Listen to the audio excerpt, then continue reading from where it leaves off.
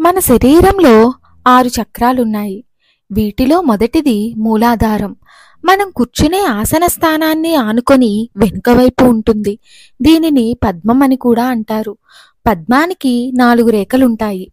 ఈ పద్మానికి మధ్యలో ఉండే కర్ణికకు మధ్యలో కులకండం అనబడే ఒక బిందువు ఉంటుంది. ఆ బిందువులో ముడుచుకొని కుండల్ని శక్తి నిద్రిస్తూ ఉంటుంది.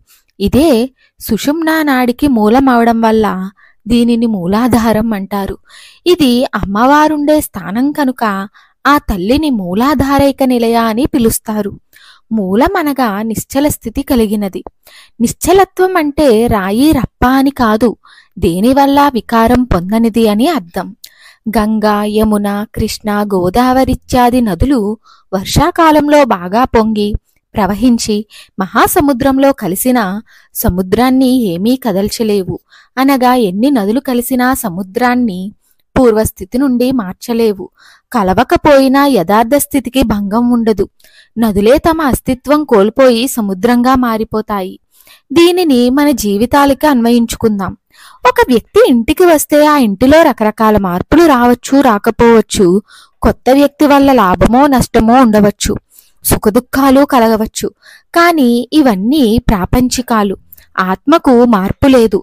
సుఖదుఖాలు లాభ నష్టాలు ఇవేమీ లేదు. అది అన్నిటికీ అతీతం.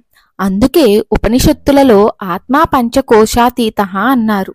సముద్రానికి నదుల వల్ల ఎక్కువ తక్కువలు లేనట్లే సంఘా సంఘాల వల్ల ఆత్మకు కూడా ఏమీ ఉండవు.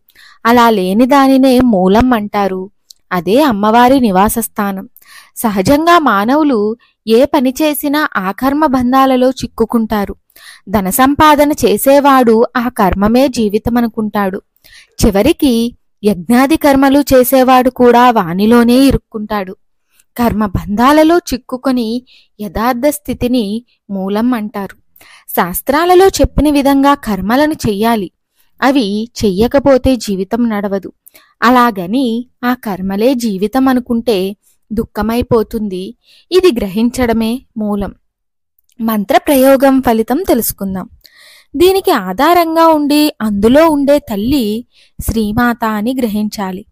కుటుంబ పోషణ కూడా చేయలేని దుర్భర స్థితిలో ఉన్నవారు తొమ్మిది రోజులు ఈ మంత్రదీక్షను స్వీకరిస్తే మహాసంపదలు కలుగుతాయి. ఈ మంత్రదీక్షకు నియమాలు.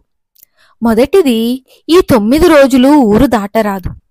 ఒంటిపూట భోజనం చేయాలి నేలపై చాప వేసుకుని పడుకోవాలి కోపం పనికిరాదు బ్రహ్మచర్యం పాటించాలి. ఈ తొమ్మిది రోజులు అమ్మవారిని తీపి నైవేద్యం పెట్టాలి. రోజు వెయ్యి ఎనిమిది సార్లు ఈ మంత్రాన్ని జపించి జపం అయ్యాక మూడు సార్లు కుడి చేతిలోనికి నీరు తీసుకొని తులసి మొక్కలో నీటిని వదిలిపెట్టాలి. ఇలా జపం పూర్తి చేస్తే ముందు లౌకిక సంపదలు ఆపై మోక్ష సంపద లభిస్తాయి. మంత్రమేమిటో తెలుసుకుందాం. ఓం మూలాధారైక నిలయాయై నమః. ఓం మూలాధారైక నిలయాయై నమః. ఓం మూలాధారైక నిలయాయై నమః. మరిన్ని ఆధ్యాత్మిక విషయాల కోసం మా ఛానల్ను సబ్స్క్రైబ్ చేయండి. వీడియో నచ్చితే లైక్ చేయండి షేర్ చేయండి కామెంట్ రూపంలో మీ అభిప్రాయాన్ని తెలియచేయండి.